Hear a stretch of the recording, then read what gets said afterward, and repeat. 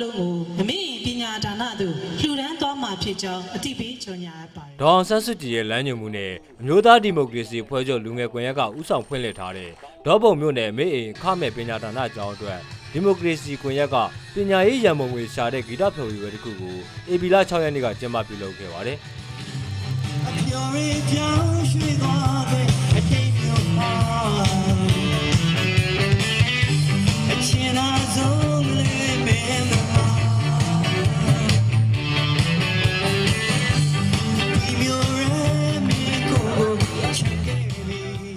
ဒီရန်မုံငွေရှာပွဲကိုရန်ကုန်တိုင်းဒေါပုံမြို့နယ်ဘောလုံးကွင်းမှာည9:00နာရီကနေစပြီးတနာရီထိကျင်းပပြုလုပ်ခဲ့တာပါ။ပြည်သက်ထောင်နဲ့ကြည်လာရောက်တည်ရှိတဲ့ဒီရန်မုံငွေရှာပွဲမှာ Vertical Vibration တေးဂီတာဖွဲ့တဲ့သူကိုရဲလွင်ကိုသားထွေးတီရင်းညော့ထူးထူးအိမ်စီဂျီမမောင်အစရှိတဲ့တေးတန်ရှင်တွေကသူတို့ရဲ့တန်စင်တွေနဲ့တီးဆိုဖျော်ဖြေခဲ့ကြတာဖြစ်ပါတယ်။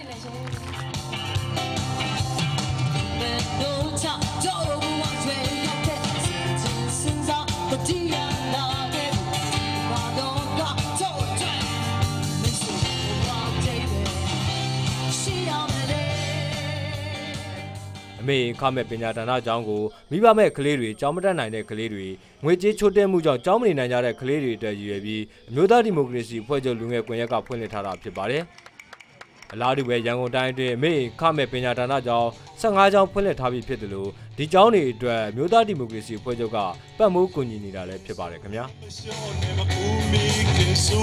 ။